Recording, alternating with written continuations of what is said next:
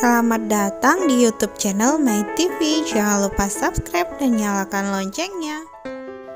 Langkah pertama, siapkan mangkok adonan, kemudian masukkan 50 gram butter dan 100 gram margarin.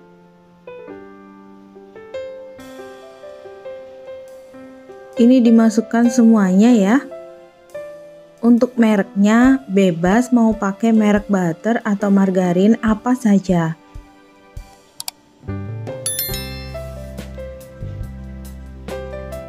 Kemudian ini diaduk-aduk sampai butter dan margarinnya tercampur secara merata.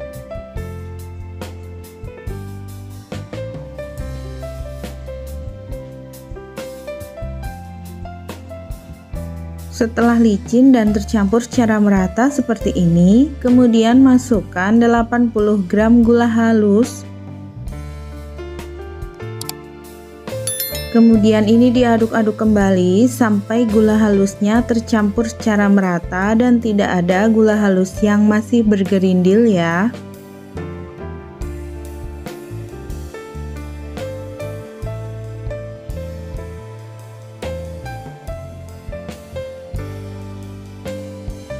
Seperti ini teksturnya jika sudah tercampur secara merata. Kemudian masukkan kocokan satu butir kuning telur.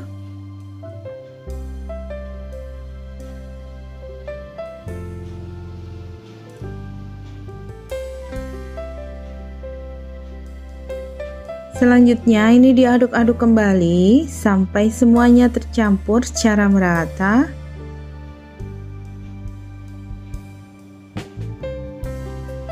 Berikutnya, tambahkan 3 tetes pewarna makanan kuning. Jika tidak mau pakai pewarna makanan juga tidak apa-apa. Ini saya pakai agar warnanya nanti hasilnya lebih cantik ya.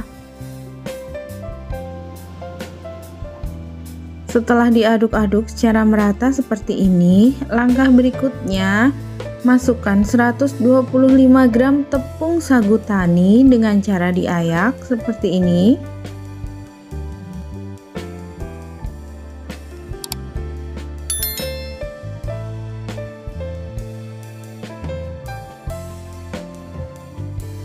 Tambahkan 125 gram tepung maizena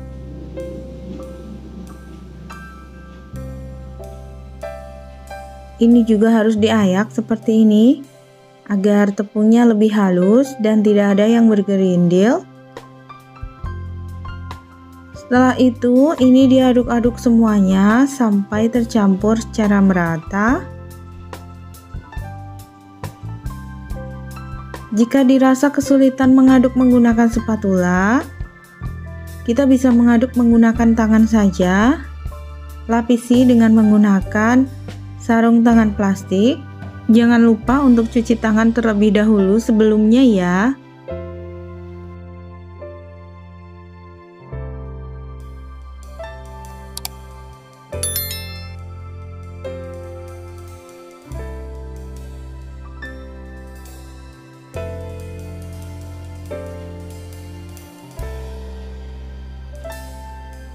Aduk semuanya sampai tercampur rata dan hasilnya menjadi bisa dipulung ya.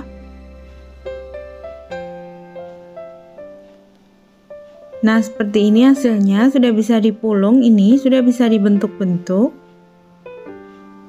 Selanjutnya siapkan loyang yang sudah dialasi dengan menggunakan kertas roti. Kemudian ambil adonan sebanyak 10 gram Kemudian ini dibulat-bulatkan seperti ini. Untuk besar kecil adonan disesuaikan dengan selera ya.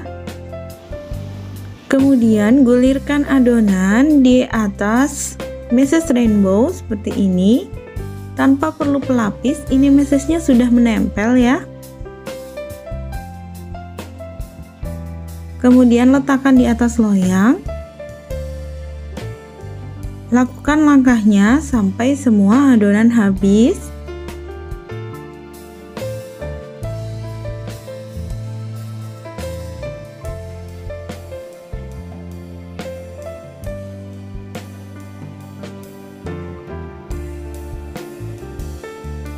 Berikutnya, siapkan oven yang sudah dipanaskan.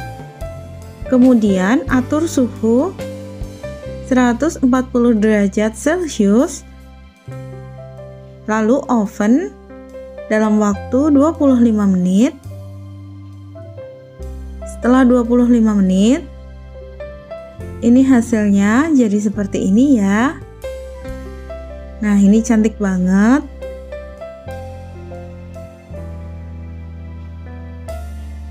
Oven lagi loyang berikutnya. Ulangi terus langkahnya sampai semua adonan habis teroven. Nah, seperti ini hasilnya. Siapkan paper cup ukuran yang paling kecil ya. Ini kue keringnya sudah benar-benar dingin, mudah sekali diambil dari atas kertas roti ya. Seperti ini hasilnya. Ini teksturnya bagus banget. Nah, kita letakkan di atas paper cup. Ini benar-benar ngeprol, jadi hati-hati ketika mengambilnya ya.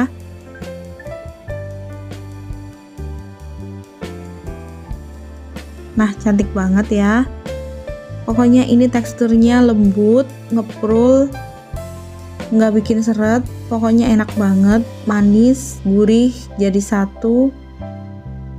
Ini tinggal kita kemas di dalam kemasan seperti ini ya. Nah ini jadi 3 toples kemasan 500 gram Tutup rapat Kemudian beri label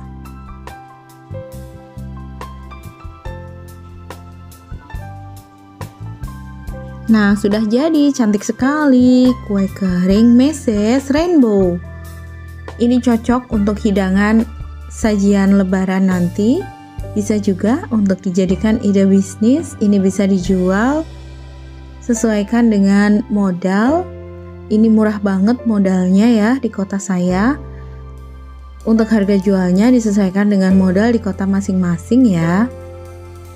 Nah, ini hasilnya cantik banget Sobat pemburu resep mesti coba resep ini di rumah, gampang bikinnya. Ini juga bisa di oven menggunakan wajan ya. Kalau nggak punya oven listrik, masih tetap bisa bikin kue kering ini. Terima kasih sudah menemani saya dari awal sampai akhir. Sampai jumpa di video berikutnya.